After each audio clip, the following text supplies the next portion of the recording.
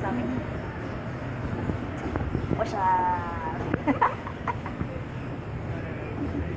so we don't do